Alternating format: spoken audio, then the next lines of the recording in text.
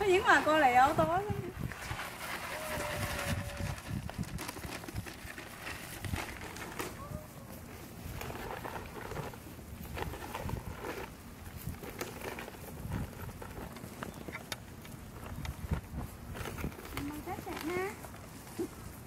của tiếng ơi của ông vậy